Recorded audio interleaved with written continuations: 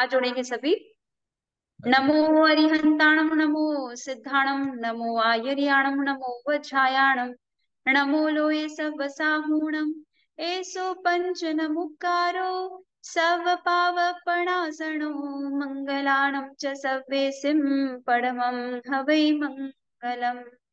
नमो दुर्वाररागादि वैरीवारनिवारिणे अर्हते योगिनाथाय महावीराय तायिने ओङ्कारबिन्दुसंयुक्तं नित्यं ध्यायन्ति योगिनः, कामदं मोक्षदं चैव।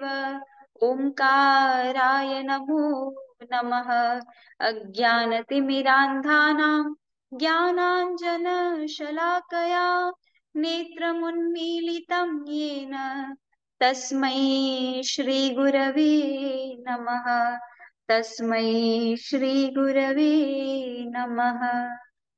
मैं कौन हूँ पाया कहाँ से और मेरा स्वरूप क्या?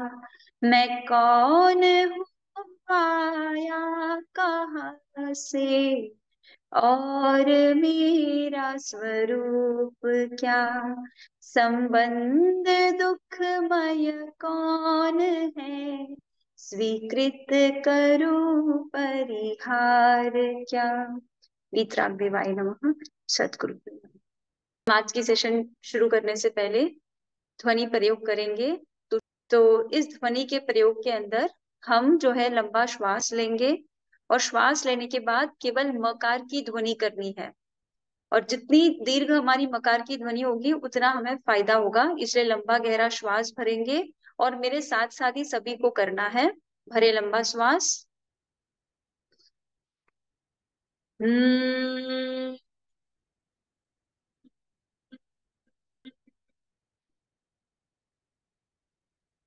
रिलैक्स। फिर से भरे लंबा घेरा श्वास।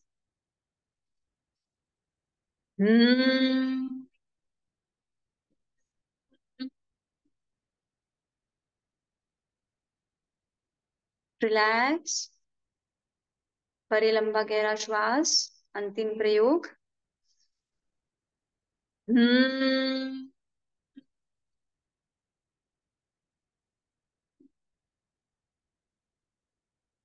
रिलैक्स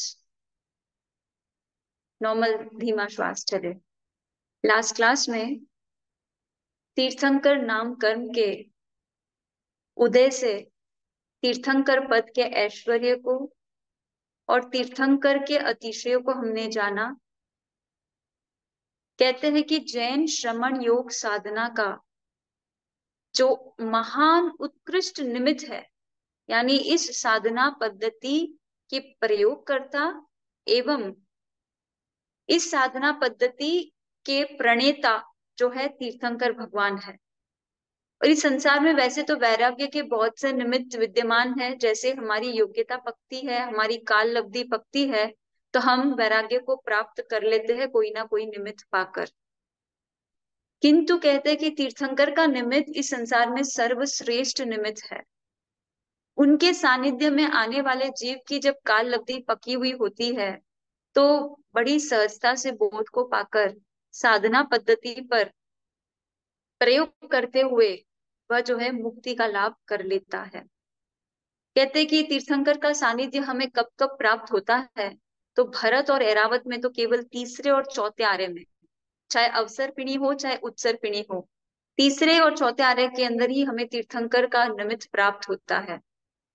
शेष काल में जो है, हमारे लिए तीर्थंकरों का जीवित उपस्थिति जो है संभव नहीं है, किंतु महाविदय क्षेत्र ऐसी भूमि है जहाँ पर सदा ही तीर्थंकरों का निमित्त मिलता ही रहता है।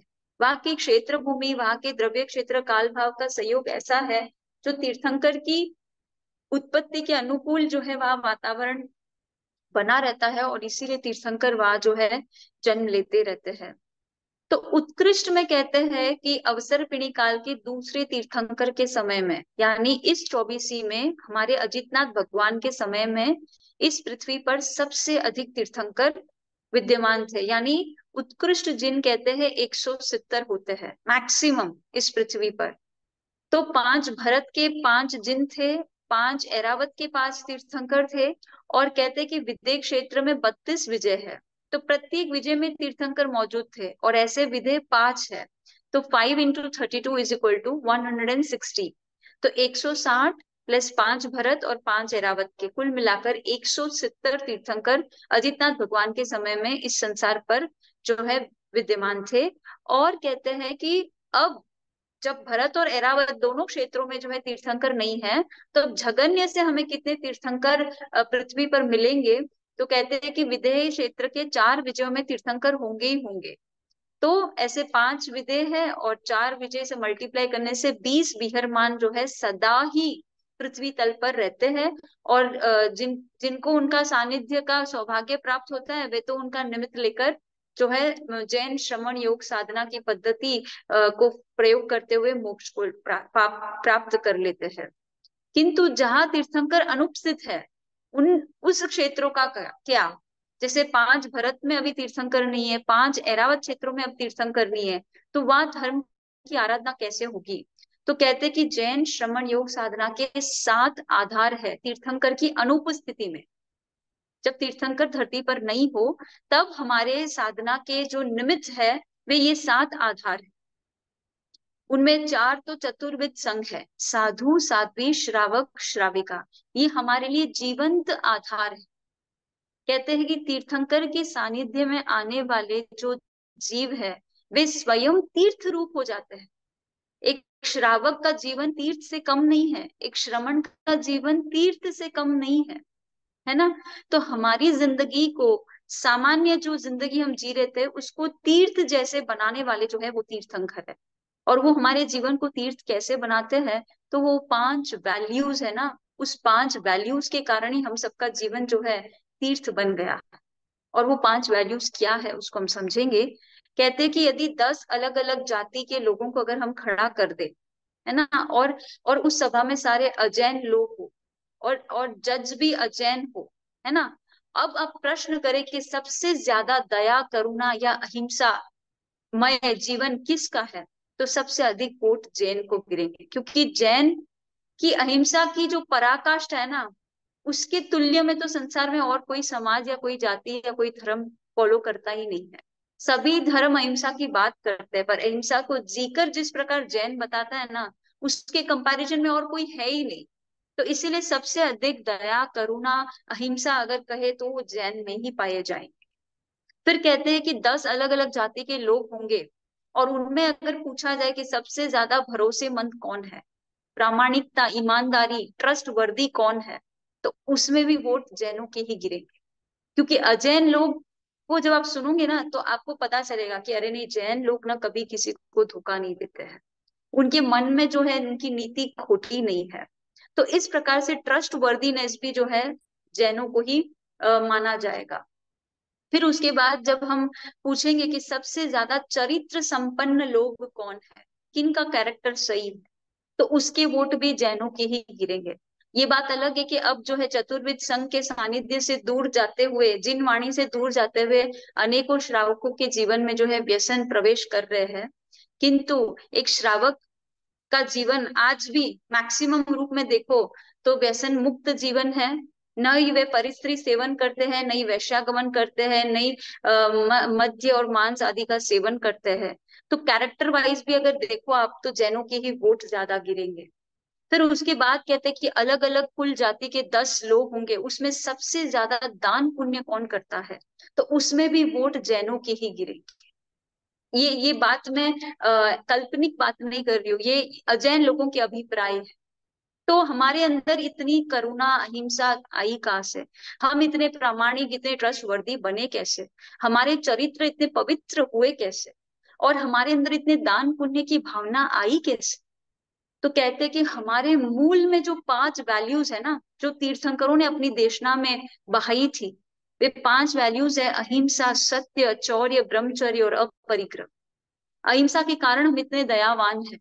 सत्य और अचौर्य के कारण ही हम इतने ईमानदार हैं। मैथुन व्रत के कारण ही हमारा चरित्र पवित्र है। और अपरिग्रह व्रत के कारण ही तो हम आवश्यकता से अधिक जो भी हमारे पास है, उसे बांटना चाहते हैं, दान पुण्य करना चाहते हैं। तो ये पाँच वैल्यूज़ जो है, स्थूल रूप से श्रावक फॉलो करता है और सूक्ष्म रूप से श्रवण फॉलो करता है। और इसीलिए श्रवण महाव्रती है और श्रावक अनुव्रती है। और ऐसे संस्कार और ऐसा जीवन ही कोई तीर्थ से कम है क्या? और इसीलिए तो तीर्थंकर भगवान चतुर्विद संघ को साक्षात तीर्थंकर कहता है, साक्षात तीर्थ कहता है। और इसी चतुर्विद संघ का आधार लेकर अनेकों भव्य आत्माएँ परंपरा से जो है बोध पा रही है और पाती रहेगी। इक्कीस हज़ार वर्ष के अंत तक ये चतुर्विद संघ का ही आधार मिलता रहेगा। जिन वाणी के अंदर हम जो वैल्यूज़ को सुनते हैं, वो वैल्यूज़ यदि जीकर हमें कोई बताता है लाइव एग्ज़ाम्पल अगर है तो वो हमारे चतुर्विद संघ है। हमारे साधु साधी और श्रावक श्राविका है। तो जैन श्रमण योग साधना के सात आधार में से पाँच आधारों की हमने चर्चा की। चार तो चतुर्विद संघ है और पांचवी जो है जिनवाणी। तो जिनवाणी में हम जैन दर्शन को पढ़ते, सुनते हैं और जीकर हमें चतुर्विद संघ बताता है। अब दूसरे दो आधार बचे हैं जैन श्रवण योग साधना के, जब तीर्थंकर का एब्सेंस रहता है। तो दो दूसरे आधार ये है। एक तो है जिन बिंब।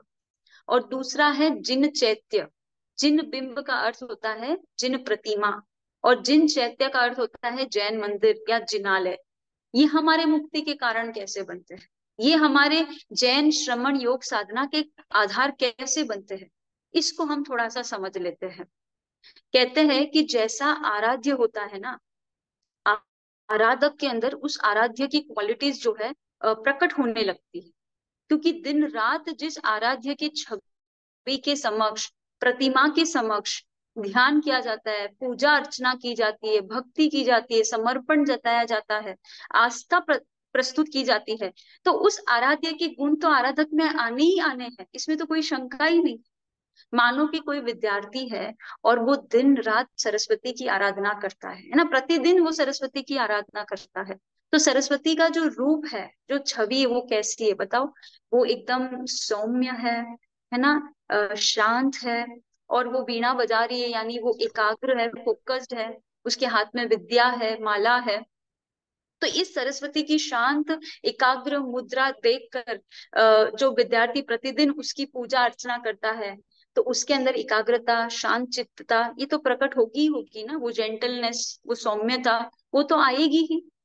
जैसे अगर कोई भोग विलास की ओर आकर्षित है और वो लक्ष्मी की पूजा करता है तो उसके अंदर लक्ष्मी की क्वालिटीज आएगी ही राजसिक गुण प्रकट होंगे ही। फिर कहते हैं कि यदि किसी को शक्ति की आवश्यकता है तो हम दुर्गा की पूजा करते हैं। तो दुर्गा की पूजा से हमारे अंदर जो है शक्ति का जन्म होता है, क्योंकि शक्ति का प्रतीक है। और कहते हैं कि यदि संहार करना है, युद्ध करना है, भारत में जितने भी युद्ध लड़े तो युद्ध से पूर्व किसको पूजा गया? शिव को पूजा गया ना शिव यानी शिव के जो रुद्र रूप को पूजा गया क्योंकि शिव को संहारक शक्ति के रूप में माना जाता है। अगर किसी के प्राण हरना है हमें हमारे रक्त को उबालना है और हमारे अंदर वो संहारक शक्ति को जन्म देना है तो हम आ, युद्ध भूमि में हम सुनते हैं ना क्या नारे लगाए जाते थे? हर हर महादेव है ना? हरना है उनको। तो उस रुद्र रौप रूप को हमारे अंदर प्रकट करना है। हमें रौद्र अवस्था में जाना होगा। उस आवेश में जाएँगे तभी तो हम किसी के प्राण ले पाएँगे। तो जैसा आराध्य होगा वैसे आराधक के अंदर गुण आते ही आते हैं। इसमें तो कोई डाउट ही नहीं है। तो अगर अरियंत भगवान की यदि हम आराधना करते हैं तो अरियंत की मुद्रा कैसी है? उन, उन उनका जो छवि है उनकी जो प्रतिमा है वो कैसी है? और श्रावकों को तो त्रिकाल पूजा करने को कहा है ना, यानी सुबह, दोपहर, शाम अगर वो अरियंत की प्रतिमा के सामने आता है तो अरियंत की क्वालिटीज तो उसमें प्रकट होगी ना, इसमें तो कोई डाउट ही नहीं है। मैं गीत के माध्यम से आपको बताना चाहूँगी कि कैसे आराध्य और आराधक का मिलन होता है। दर्शन अरिहंत का सुनो साथी दर्शन अरिहंत का। एक दिन हम को भी अरिहंत बना देता। एक दिन हम को भी अरिहंत बना देता। शांत शरण करके शांति का भाव मन में जगाते। शांत एक दिन हम बन जाते शांत। एक दिन हम बन जाते, दर्शन अरिहंत का। ध्यान दर्शन करके, ध्यान कर पाते। ध्यान के साधक हम बन जाते।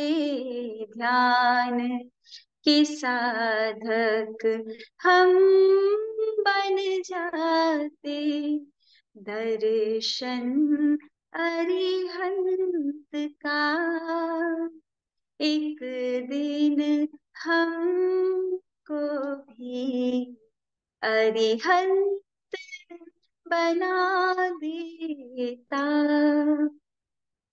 वितराग मुद्रा दर्शन करके राग बनती वितराग एक दिन हम बन जाते। वितराग एक दिन हम बन जाते। मौन मुद्रा दर्शन करके जीवन मौन समझते। मौन के साधक हम बन जाते। मौन के साधक हम बन जाते। ना साग्र दृष्टि दर्शन करके निज आत्मा का बोध पाते निज आत्मा में हम रम जाते निज आत्मा में हम रम जाते। जिन का जब दर्शन करते अपना ही प्रतिबिंब उसमें पाते अपना सत्य हम देख पाते। अपना सत्य हम देख पाते। जिन दर्शन में आत्म दर्शन आत्मा सम्यक दर्शन ऋषभ रत्ना अवसर पाए ऋषभ रत्ना अवसर पाए, दर्शन हरिहंत का। सुनो साथी, दर्शन हरिहंत का। एक दिन हम को भी अरिहंत बना देता जिस आराध्य का स्मरण, पूजन, ध्यान इत्यादि किया जाए तो वो आराधक निश्चय आराध्य के रूप में ट्रांसफॉर्म हो ही जाता है। कहते कि एक गर्भवती महिला यदि बार बार किसी की छवि देखती है, किसी को स्मरण करती है तो उसके संतान में उस व्यक्तित्व का जन्म होना शुरू हो जाता है। तो वैसी पर्सनालिटी अगर एक सामान्य व्यक्ति को देखकर हो तो तीर्थंकर, अरियंत भगवान की अगर प्रतिमा या छवि अगर हम बार बार देखते हैं तो अवश्य ही हमारे अंदर परिवर्तन आता ही है, हमारा रूपांतरण निश्चित है। बताओ, कोई परमात्मा की पूजा करने वाला कभी हिंसा कर सकता है? किसी की हत्या कर सकता है? चोरी कर सकता है? तो ये सारे वैल्यूज़ जो है, परमात्मा के केवल दर्शन, पूजन और उनका सानिध्य पाने से ही हमारे अंदर नेचुरली बने रहते हैं। नेचुरली हम उस रूप परिणमित हो ही जाते हैं। तो ये हमारा छठा आधार था। अब सातवें आधार की बात करें तो वो है जिनालय। है ना? जिनालय हमारे जैन श्रमण योग साधना का आधार कैसे बन सकता है? तो कहते हैं कि जिनालय के पीछे एक बहुत बड़ा विज्ञान है। अगर हम उस निर्माण की जो वास्तु डिज़ाइन को देखते हैं तो हमें ये पता चलता है कि यहाँ पर जो है एक ऐसा वातावरण तैयार किया गया है, जिस वातावरण में प्रवेश करते ही हमारी ऊर्जा जो है ऊपर की ओर बहने लगती है, उसका ऊर्ध्वारोहण होता है। आराध्य जिस गर्भगृह में विराजमान है, उसका आकार पिरामिड रूप में होता है। और आराधक जिस रंग मंडप में विराजमान होता है, उसका आकार गोल गुंबज का होता है। गोल गुंबज प्रतिध्वनि का स्थान है और पिरामिड जो है, वो एनर्जी को ऊपर उठाने का स्थान है। तो जैसे ही आराध्य और आराधक के इस वास्तु निर्मित जिनालय में जब हम प्रवेश करते हैं, कहते कि विविध मंत्रों से प्राण प्रतिष्ठा अंजन शलाका इत्यादि द्वारा जो है, मंदिर के वातावरण के अंदर इलेक्ट्रोमैग्नेटिव एनर्जी को प्रकट किया जाता है। और निरंतर उस मंदिर के अंदर जो है इलेक्ट्रोमैग्नेटिक वेव्स जो है उसका कंजर्वेशन होता है। तो जब विदेशी भारत आए ना तो उन्होंने देखा कि भारत के प्रत्येक गाँवों में जो है स्कूल हो ना हो हॉस्पिटल हो ना हो, मंदिर अवश्य, बिना मंदिर का तो एक भी गाँव नहीं है। इतना इंपॉर्टेंट है इनकी सभ्यता में मंदिर। और कहते हैं कि उस मंदिर के अंदर जब उन्होंने गहराई से स्टडी की तो उन्होंने देखा गर्भगृह तो प्रॉपर प्लान में बना ही नहीं है। न तो कोई वेंटिलेशन का प्लान है, न कोई हाइजीन है है ना? तो मंदिर आर वेरी अनहाइजेनिक, ऐसे उन्होंने बताया। पर जैसे पता चला उनको, उन्होंने और स्टडी की तो उनको पता चला कि गर्भगृह के अंदर इसलिए खिड़की नहीं है, क्योंकि वहाँ का वातावरण जो है, वहाँ की एनर्जी जो है, वो बाहर न जाए। उसका प्रॉपर से संवर्धन हो, वो इंटैक्ट रहे, वो एनवायरमेंट और बाहर का जो पोल्यूशन है, जो प्रदूषित वातावरण है, वो अंदर प्रवेश न करे। मंदिर की जो एनर्जी है, वो ठीक बनी रहे और इसीलिए इस प्रकार से मंदिरों का निर्माण हुआ। और हम जब मंदिर में प्रवेश करते, कितने भी परेशान, चिंता, अशांत हम रहेंगे, जैसे हम मंदिर के अंदर कदम रखते हैं, एक सेकंड के लिए हमें इतनी शांति की अनुभूति होती है। कहते कि जितना पुराना मंदिर है, उतनी गहरी शांति, उतना गहरा सुकून हमें अनुभव होता है। क्योंकि हमारी एनर्जी सारी कहाँ पर है? हमारी रीढ़ की हड्डी के नीचे, यानी मूलाधार चक्र में हमारी एनर्जी है। अब ये कैसे है? तो कहते कि आप अगर एक बकेट पानी उठाते हैं तो सबसे ज़्यादा वज़न कहाँ आता है? ज़ोर कहाँ पड़ता है? आप खड़े रहते हो, आप बैठते हो, सोते हो, चलते हो, किस आधार पर? हमारे स्पाइन के नीचे जो हमारा जो मन का है ना, उसी के आधार पर तो सारे कार्य हो रहे हैं। अगर मन का संतुलन बिगड़ जाए ना मन के का तो हम कुछ भी उठा भी नहीं पाएँगे। तो सारी एनर्जी योग शास्त्र के अनुसार कहा है कि रीढ़ की हड्डी के नीचे है। और उस एनर्जी को हम कहा यूज़ कर रहे हैं? वासनाओं में और कषायों में, है ना? तो एड्रेनल ग्लाइंड्स के एड्रेनल हार्मोन्स जो है वो कहाँ है? मूलाधार चक्र के वहीं पर। और हमारी एनर्जी नीचे बह रही है और इसीलिए हम निरंतर घर में, संसार में जीते हुए अशांति का अनुभव करते हैं। पर जैसे मंदिर के अंदर प्रवेश करते हैं, हमारी एनर्जी जो नीचे फ्लो हो रही थी, उसका डायरेक्शन जो है अपवर्ड की ओर हो जाता है। और जैसी एनर्जी अपवर्ड फ्लो होती है, तुरंत उसका रिज़ल्ट होता है कि हम चैन, सुकून, शांति का अनुभव करते हैं। और इसलिए मंदिर का वातावरण हमारे लिए बहुत ही पॉजिटिव और बहुत ही ट्रांसफॉर्मेटिव होता है। मंदिर के अंदर जाते ही हम हम बदल जाते हैं। तो ऐसे वातावरण का निर्माण मंदिरों के अंदर किया गया। अज्ञानवश ये तर्क उठता है बार बार लोग कहते हुए सुनाई पड़ते हैं कि अरे, इतने मंदिरों की आवश्यकता क्या है? इतनी मूर्तियों की आवश्यकता क्या है? मंदिर में जाने वाला कोई नहीं है, भगवान को पूजा करने वाला कोई नहीं है। है ना? इतनी आशादना बढ़ेगी, उससे तो अच्छा है स्कूल बना दिए जाए, उससे तो अच्छा है हॉस्पिटल बना दिए जाए, है ना? ऐसे तर्क सुनने को मिलता है। अरे, स्कूल और हॉस्पिटल और कॉलेज या जो भी आप जो है सोशल इंस्टीट्यूशंस की बात करते हो, ये सारे आपके एक जन्म के कुछ समय की समस्या के एक हद तक समाधान हो सकते हैं। संपूर्ण समाधान भी नहीं है। हॉस्पिटल में जाने वाला प्रत्येक व्यक्ति जो है स्वस्थ होकर ही लौटता है क्या? किसी की मृत्यु नहीं होती है। तो ये हमारे कुछ समय के समाधान बन भी सकते हैं, नहीं भी बन सकते हैं।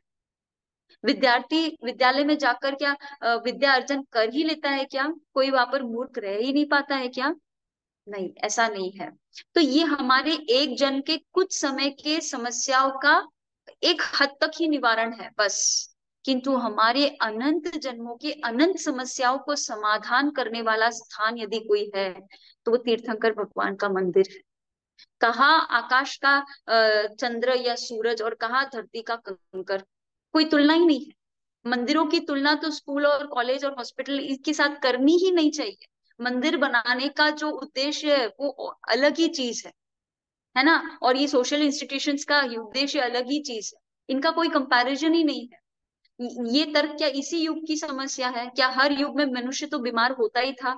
हर युग में जो है हमारे बच्चे विद्या अर्जन करते ही थे तो हर समय स्कूल और हॉस्पिटल की आवश्यकता तो बनी ही थी। तो फिर क्यों हम इतिहास में नहीं सुनते हैं कि किसी आचार्य ने किसी राजा या किसी श्रावक के हाथों इतने स्कूल बनाए, हज़ारों स्कूल बनी या हज़ारों हॉस्पिटल बने? ऐसा कोई इतिहास तो हम तो नहीं सुनते हैं। है ना? हम तो सुनते हैं कि संप्रति राजा ने सवा लाख जिन मंदिर बनवाए। हम सुनते हैं सवा करोड़ जिन बिंब भराए। है ना? हम कितने इतिहास सुनते हैं। तो क्या उस समय में ये तर्क नहीं था कि स्कूल बनाने चाहिए, हॉस्पिटल बनाने चाहिए या मंदिर बनाने चाहिए?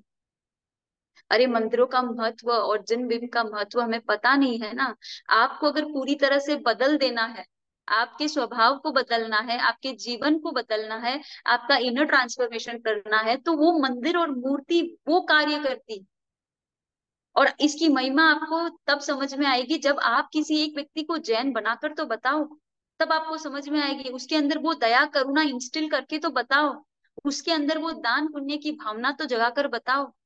तब आपको समझ में आएगी कि जिनेश्वर भगवान की प्रतिमा और जिनेश्वर भगवान का मंदिर हमारे लिए कितना मायने रखता है। हमारी हमारी संस्कृति जो है वो मंदिरों से जुड़ी हुई है। जन्म होता है घर में तो मंदिरों में उत्सव होता है। बच्चे को धूमधाम से बाजे गाते के साथ मंदिर दर्शन कराने ले जाते हैं। घर में अगर गृह प्रवेश हो तो भगवान को घर में बुलाया जाता है। और कोई भी प्रसंग हो, जन्मदिन हो, विवाह दिन हो, हम मंदिरों में पूजा रखते हैं। है कि नहीं? हाँ, शादी हो तो विधि विधान करवाते हैं। कहते हैं कि यहाँ तक मृत्यु हो तो भी मंदिर में भजन होता है। जन्म से लेकर मरण तक हमारी तो पूरी संस्कृति ही मंदिर से जुड़ी हुई है। हमारे पूर्वज जो है हमारा अपना सुख दुख सब मंदिर से ही जोड़कर सेलिब्रेट करते थे। जब वो खुश थे तब भी मंदिर और जब वो दुखी थे तब भी मंदिर ही था। हाँ ये हमारी ये पीढ़ी जो है मंदिरों से जो दूर जा रही है और उसका उसका फल भी वो भुगत रही है। वो तर्क करती है, अरे, भगवान तो हमारे अंदर ही है, मंदिर जाने की क्या आवश्यकता है? इस तरह के तर्क आजकल के बच्चे करते ही हैं। पर अगर हमारे भावावेश को, का समाधान यदि हम नहीं करेंगे तो वो भावावेश जो है, हमें अधिक मेंटल और फ़िज़िकल स्ट्रेस की ओर ले जाएँगे। है ना? मंदिर में जाकर हम अपने खुशियों को बांटते थे और साथ साथ में जब हमारी तकलीफ़ होती थी, तब भी हम मंदिर में भगवान के सामने बैठकर रो लेते थे। जो कहना है वो कह देते थे और भगवान सुनते भी थे। और आज के युग की समस्या क्या है?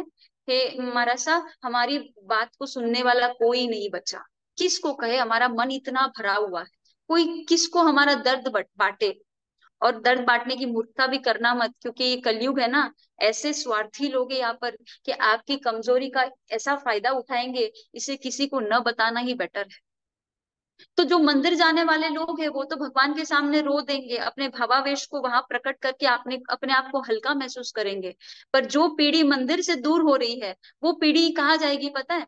साइकेट्रिस्ट के पास जाएगी, क्योंकि दिमाग तो ठिकाने रहेगा नहीं तो वहाँ पे पाँच हज़ार, दस हज़ार फ़ीस देकर अपॉइंटमेंट लेंगे और फिर वहाँ जाके वही रोना धोना करेंगे, वो आपको रुलाएँगे, आपकी बात भुलवाएँगे, आपके अंदर का जो भरा हुआ है, उस भावावेश को खाली करेंगे। तो वही कार्य तो हमारे पूर्वज मंदिर में करते थे और कहते हैं कि मंदिर के वातावरण में जब हम अपने आप को खाली कर लेते हैं ना तो हमारा मन शांत हो जाता है। और शांत होने के बाद हमको वहाँ से समाधान भी अवश्य मिलता है। आप ये प्रयोग करके देखो। आप अपनी समस्याओं को भगवान के सामने बोलकर तो देखो और मंदिर में दो क्षण बैठकर भगवान से आई कांटेक्ट तो करो। आपका समाधान नहीं हो तो फिर कहना। पर यदि हम ऐसे प्रयास है ऐसे प्रयोग नहीं करेंगे तो तो फिर साइकेट्रिस्ट के पास जाकर उनकी वो ड्रग्स वाली दवाई लेंगे और एक प्रॉब्लम को सॉल्व करने की कोशिश करेंगे, पर उसमें दूसरी प्रॉब्लम शुरू हो जाएगी, क्योंकि सारी दवाइयाँ साइड इफेक्ट्स वाली होती है। तो मंदिर हमारे लिए कितने मायने रखते थे, आपको पता है, विदेशी लोगों ने ये जाना, हमको स्टडी करके, हमारी सभ्यता को स्टडी करके उन्होंने ये पता किया कि हमारी वास्तव स्ट्रेंथ जो है ना, वो हमारी आस्था है। अगर इन व्यक्तियों को अगर तोड़ना है इनको अगर चोट पहुंचाना है, इनको अगर गुलाम बनाना है तो आप इनकी आस्था पर वार करो। और उन्होंने हमारे मूर्तियों को तोड़ा, हमारे मंदिरों को तोड़ा, हमारे आस्था के नाम पर हमें आपस में लड़वाया डिवाइड एंड रूल किया, तब जाके वो इस देश पर शासन कर पाए। तो हमारी जो असली शक्ति है ना, वो हमारी आस्था है, हमारे आराध्य हमारी असली शक्ति है, और ज़िंदगी की हर परिस्थिति को एकदम बैलेंस वे में कैसे सामना किया जाए? ये हमारे आराध्य के बल पर ही होता था, हमारी आस्था के बल पर ही होता था। कहते हैं कि जो व्यक्ति रोज मंदिर जाता है, जो रोज व्यक्ति जो है परमात्मा का दर्शन करता है और व्यक्ति जो रोज सामायिक करता है, उसका बैलेंस और ज़िंदगी को फेस करने का जो तरीका है, जो अंदाज है ना, वो अलग ही है। वो हर हाल में आपको प्रसन्न ही मिलेगा, क्योंकि उसको आस्था है ना, कि उसके आराध्य उसके साथ है। उसकी उसकी एनर्जी उसका स्ट्रेंथ जो है ना, उसकी परमात्मा के प्रति जो श्रद्धा है ना, वही है। और कहते हैं कि सामायिक क्या है? सामायिक एक प्रकार का मेडिटेशन ही तो है, जिसमें आपको बैलेंस ऑफ़ माइंड बनाए रखना है। आपको राग में भी नहीं जाना है, द्वेष में भी नहीं जाना है, आपको एकदम सम भाव में रहना है। तो जो प्रतिदिन सामायिक करता है, उसका इमोशनल बैलेंस जो है कितना सही रहेगा, सोचिए। तो आज जो है हम इतने मूड स्विंग्स के शिकार होते जा रहे हैं, इतने इतने जो बीमारियों के शिकार होते जा रहे हैं, क्योंकि हमारे ज़िंदगी में से पूजा पाठ और सामायिक गायब हो रही है ना, और इसीलिए हमारी हालत ऐसी होती जा रही है। हम उसका महत्व उसके साइंटिफिक कारण समझते ही नहीं, और ना ही हमको इतना नॉलेज है और ना ही हम आने वाली पीढ़ी को ये नॉलेज दे पा रहे हैं। क्योंकि आने वाली पीढ़ी जो है, जो स्कूल कॉलेज में पढ़ रही है, उनका तो लॉजिकल रीजनिंग ही डेवलप हो रहा है। आपके आपके माता पिता ने आपको संस्कार दिए तो आप फेथफुली उसको फॉलो किए। पर आपके संतानों को आपने ऐसी जगह पर शिक्षा लेने भेजा है, जहाँ आप उनको कुछ भी बात करो, बिना साइंटिफिक रीजन से आप कन्विंस कन्विंस कर ही नहीं पाओगे और वो आपकी बात सुनेंगे भी नहीं, है ना? तो आपको हमारे इस परंपरा, इस साधना के साइंटिफिक एस्पेक्ट्स को जानना अति आवश्यक है। यही समय की मांग है। तो हम बढ़ते हैं। जैन श्रवण योग साधना के जो सात आधार है, उसको हमने डिस्कस किया। जब तीर्थंकर भगवान उपस्थित नहीं होते हैं, तब इस साधना का जो आधार बनते हैं चतुर्विद संघ, परमात्मा की वाणी यानी जिन आगम, जिन प्रतिमा और जिनालय। ये हमारे जो है साधना के कल्याण के जो है निमित्त बनते हैं। फिर कहते हैं कि हमारे जो मंदिरों के विज्ञान को पढ़ने के बाद जो है हम बढ़ेंगे अब सिद्ध चक्र की ओर कि सिद्ध चक्र के अंदर नौ पद हमने चर्चा की थी और उस नौ पद के अंदर ही सारी जैन श्रवण योग साधना आ गई। केंद्र में जो है अरियंत भगवान यानी तीर्थंकर भगवान, जो इस साधना के प्रयोग करता और प्रणेता है और इस साधना को सफल पूर्वक जो है सिद्धि प्राप्त करने वाले जो है वे सिद्ध भगवान है। आचार्य उपाध्याय और साधु जो है साधक है इस साधना के और जो साधना है वो है सम्यक दर्शन, सम्यक ज्ञान, सम्यक चारित्र और सम्यक तप। ये चार आयाम है जैन श्रवण योग साधना के। इन चार आयामों को अब हम समझने का प्रयास करेंगे क्योंकि अब हम आयाम की ओर प्रवेश कर रहे हैं। तो कहते हैं कि इन आयामों को समझने से पहले एक बहुत ही महत्वपूर्ण बात आप लोगों को समझना है कि समग्र जिनवाणी, जो परमात्मा की मूल वाणी है, जिसको हम द्वादशांग कहते हैं, है ना? द्वादश यानी बारह अंग यानी पार्ट्स जो ट्वेल्व पार्ट्स में है। कहते कि सारी जिनवाणी को एक आगम पुरुष में कल्पना की गई है। यानी अगर एक ह्यूमन बॉडी को हम इमेजिन करें तो उन ह्यूमन बॉडी के अंदर जो बारह पार्ट्स है मेन पार्ट्स जो है, वो द्वादशांग है। और कहते कि उस आगम पुरुष की जो दो आँखें है, वो एक निश्चय की आँख है और एक व्यवहार की आँख है। इन दोनों आँखों से जो है हमें जिनवाणी को देखनी होगी तभी हमें जो है पूरी जैन श्रवण योग साधना समझ आएगी। तो क्या है ये निश्चय और क्या है ये व्यवहार? ये दो तरह के पॉइंट ऑफ़ व्यूज़ है। निश्चय यानी जो रियलिस्टिक पॉइंट ऑफ़ व्यू है वास्तविक जो सत्य है और जो व्यवहार है वो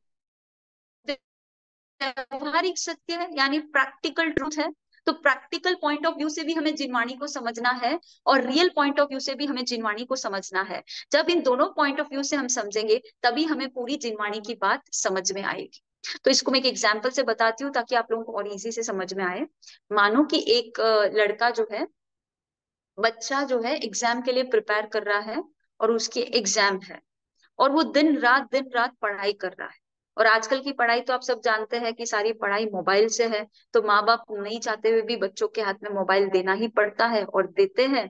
अब बच्चा जो है स्मार्ट जनरेशन का है, इतना शातिर है, मम्मी जब चेक करने आए रूम में, तब तो स्क्रीन के ऊपर जो है पढ़ाई का स्क्रीन आ जाता है। और जैसे ही मम्मी या पापा रूम से बाहर हुए कि स्क्रीन पे क्या आ जाता है? वीडियो गेम आ जाते हैं मूवीज़ आ जाती है है ना? बच्चा अपना मस्ती कर रहा है, मोबाइल में ऐश कर रहा है पढ़ाई वढ़ाई कुछ भी नहीं कर रहा है। तो माता पिता तो समझ रहे कि वो पढ़ रहा है और इधर जो है वो टाइम पास कर रहा है और फिर एग्ज़ाम हो जाती है एग्ज़ाम के बाद जो रिज़ल्ट आता है रिज़ल्ट में जो है पता चलता है कि बच्चा जो है फेल हो गया। तो यदि अब आपको पूछा जाए कि उसके फेल होने का कारण क्या है तो हम क्या कहेंगे कि भाई मोबाइल उसके फेल्यूर का कारण है। है ना? माँ बाप को पता चला कि भाई इस, ये फेल हुआ है तो फिर बच्चे को धमकाया और डांट के उसको पूछा कि तुम सीरियसली पढ़ाई कर रहे थे कि दिन रात तो तुम पढ़ाई, मोबाइल के सामने बैठा रहता था तुम्हारा एग्ज़ाम क्यों? जो है मार्क्स प्रॉपर से क्यों नहीं आए? फेल क्यों हो गए? तो बच्चा डर गया तो बच्चे ने कहा कि हाँ मैं तो कम पढ़ता था और ज़्यादा गेम्स खेलता था। तो मम्मी पापा को असली बात पता चल जाती है तो गुस्सा आ जाता है पापा को। और पापा बोलते इस मोबाइल को इस मोबाइल ने है ना सबकी जिंदगियाँ बर्बाद कर दी है। इस मोबाइल को निकाल के फेंको। मोबाइल को हटाओ तब जाके बच्चे एग्ज़ाम में पास होंगे। तो इस तरह से मोबाइल को दोषी माना गया। हम्म, और हम बोलते भी हैं कि मोबाइल जो है इस पीढ़ी को बिगाड़ रही है जो भी है मोबाइल को दोष देते हैं। तो ये जो बोलने का तरीका था या ये जो पॉइंट ऑफ़ व्यू था ये व्यवहारिक था। पर असली में क्या मोबाइल दोषी है? मोबाइल तो जड़ है ना, मोबाइल के पास तो कोई इंटेंशन नहीं है। मोबाइल चाह कर तो उस बच्चे को फेल नहीं कर रहा है ना। बच्चा फेल कैसे हो रहा है? क्योंकि वो पढ़ नहीं रहा है। तो असली कारण तो बच्चे का न पढ़ना है। बट प्रैक्टिकली हम क्या बोलते हैं कि हाँ मोबाइल सब कुछ बर्बाद कर रहा है। तो यदि मोबाइल को दोषी मानेंगे तो हम उस समस्या का समाधान क्या करेंगे पता है? हम सोचेंगे कि मोबाइल को हटा दो तो बच्चे के मार्क्स आ जाएँगे। पर अगर जिस बच्चे के पढ़ने की नीयत नहीं है तो अब मोबाइल हटा दोगे तो क्या वो पास हो जाएगा? वो तो और कई जगह पे टाइम पास करेगा, क्योंकि उसको तो पढ़ना ही नहीं है ना, पढ़ने में रुचि नहीं। तो यदि आप मोबाइल को कॉज मानोगे तो वो प्रैक्टिकल पॉइंट ऑफ़ व्यू हुआ, है ना? व्यवहारिक रूप से हम कहते हैं कि मोबाइल ने सब कुछ खराब कर दिया है। पर मोबाइल तो जड़ है, उसकी तो कोई चेतना है नहीं। तो यदि जिसकी दृष्टि एकदम डीप है रियल पॉइंट ऑफ़ व्यू तक जाती है, यानी अगर वो पकड़ पाते हैं कि प्रॉब्लम मोबाइल में नहीं है प्रॉब्लम बच्चे में है तो बच्चे के अंदर पढ़ाई के प्रति यदि रुचि जगाई जाए और बच्चे के अंदर अवेयरनेस लाई जाए तो बच्चा जो है ठीक से पढ़ेगा और पास हो जाएगा राइट तो हमको दोनों दृष्टि देखना है। कि पहले ये देखना है कि हाँ मोबाइल ने इसको डिस्टर्ब किया है, पर मोबाइल ने डिस्टर्ब इसलिए किया क्योंकि उसके पढ़ने में रुचि नहीं। तो हमने उसके मूल कारण तक भी गए और फिर दोनों पॉइंट ऑफ़ व्यू से हमने देखा तो हमको पूरी समस्या समझ में आ गई और फिर हमने उसका सही समाधान किया। तो अब हमारी प्रॉब्लम क्या है? हम संसार में क्यों है? है ना? हम दुखी क्यों है? हम परेशान क्यों है? तो हम कहते कि भाई, संसार में हम क्यों भटक रहे तो कर्म के कारण। कर्म से बंधे हुए हैं, है ना? कर्म नचाए नाच, कर्म कर्म बड़ा बलवान और क्या क्या गीत गाते हैं हम लोग राइट तो कर्म तो जड़ है ना it is as equal to the mobile कर्म का अपना कोई इंटेंशन नहीं है। कर्म चाह कर आपको संसार में रोक के नहीं रखा है या कर्म कर्म की मर्ज़ी नहीं है कि आपकी आत्मा को बंधन में डाले और उसको दुखी करे या उसको परेशान करे, क्योंकि कर्म तो नॉन लिविंग थिंग है। तो प्रॉब्लम कहाँ है? आपको वहाँ पकड़ना है। यदि आप कर्म को प्रॉब्लम बोलोगे, तब तो आप समाधान कर ही नहीं पाओगे, क्योंकि कर्म बलवान हो जाएगा और आप दुर्बल हो जाओगे, आप हीन हो जाओगे, आप अपने आप को क्या कमज़ोर मानोगे तो आप सोचोगे, भाई, कर्म के आगे तो झुकना ही पड़ेगा और इस प्रकार से आप झुकते ही आ रहे हो अनादिकाल से। और इसीलिए हमारा मोक्ष नहीं हुआ, क्योंकि हम रियल कॉज तक तो नहीं गए ना। असली कारण क्या है? हम इस संसार में कर्म के कारण नहीं है। हम इस संसार में इसलिए है क्योंकि हमने पुरुषार्थ नहीं किया। हमने अपने आंतरिक शक्ति को नहीं पहचाना। अगर हम कर्म को बलवान मानेंगे तो हम कैसे साधना कर पाएँगे? ये जैन श्रवण योग साधना की बातें सिर्फ़ बातें ही हो जाएगी अगर कर्म बलवान होगा। आज तक कोई मोक्ष में फिर जा ही नहीं पाता ना। आत्मा मोक्ष जा रही है और इतनी आत्माएँ मोक्ष को पाई है, यानी कर्म से बलवान आत्मा है तभी तो। अगर कर्म बलवान होता तो किसी की मुक्ति कैसे हो सकती थी? तो आत्मा को अपने अंदर जो है उस शक्ति को पहचानना है उसको मानना है कि मेरे पुरुषार्थ से मैं मोक्ष जा सकता हूँ। कर्म क्या चीज़ है जो मुझे रोक के रखे? कर्म कुछ भी नहीं है, कर्म तो जड़ है। प्रॉब्लम असली मुझमें है। तो व्यवहारिक और निश्चय दोनों रीजंस को अगर हम पकड़ेंगे, तभी हम जो है असली कारण तक पहुँच पाएँगे। है ना? अगर खाली कर्म को बलवान, यानी व्यवहारिक दृष्टि से आप देखते जाओगे तो आप सही समाधान नहीं करोगे। ऐसे ऊपर ऊपर से समाधान करोगे, जिससे आपका मोक्ष होने वाला नहीं है। मोक्ष तो इनर ट्रांसफॉर्मेशन से होगा। तो आप सोचोगे, मैं पूजा पाठ कर लूँगा, मैं थोड़ी सी तपस्या कर लूँगा, मैं सामायिक प्रतिक्रमण कर लूँगा, मैं पौषद कर लूँगा, मैं उपध्यान कर लूँगा तो मेरा मोक्ष हो जाएगा। बाहरी क्रिया करने से मोक्ष नहीं हो सकता है ना? वास्तविक कारण तक जाना होगा। आपके अंदर की चेतना, आपके अंदर के पुरुषार्थ को जगाना होगा। तो जब आप जिनवाणी को व्यवहार और निश्चय दोनों दृष्टि से देखेंगे, तभी आपको पूरी जिनवाणी जो है समझ में आएगी। और पूरी जिनवाणी समझ में आएगी तो आप अपनी समस्या का समाधान ठीक से कर पाओगे। और इसीलिए हम जैन श्रमण योग साधना के जो चारों आयाम है, यानी सम्यक दर्शन, सम्यक ज्ञान, सम्यक चारित्र और सम्यक तप इन चारों आयामों को निश्चय और व्यवहार दोनों दृष्टि से देखते हुए इस पूरी साधना पद्धति को समझेंगे तभी इस साधना को समझकर हम सही प्रयोग कर पाएँगे। राइट तो आज की क्लास को मैं यहीं पर आ, एंड करती हूँ क्योंकि अगले जो क्लास में है हम ये आयाम फ्रेशली स्टार्ट करेंगे। आ, उसको मैं अधूरा छोड़ना नहीं चाहती हूँ। तो आ, इस इस विषय को यहीं पर जो है स्थगित करके अब हम बढ़ेंगे क्यू एंड ए की सेशन की ओर। जिन आगे अवरुद्ध कुछ भी कहा हो मिच्छा में टुकड़ा सुखम थैंक यू एवरीबडी आप सब श्रावक श्राविका का आशीर्वाद और देवगुरु की कृपा रहेगी तो हम ऐसे ही स्वाध्याय करते रहेंगे। राइट जिन आगे अवरुद्ध कुछ भी कहा हो मिच्छा मिच्छामि दुक्कडम सर्वमंगल मांगल्यम सर्व कल्याण कारणम प्रधानम सर्वधर्माणम जैनम चेती शासन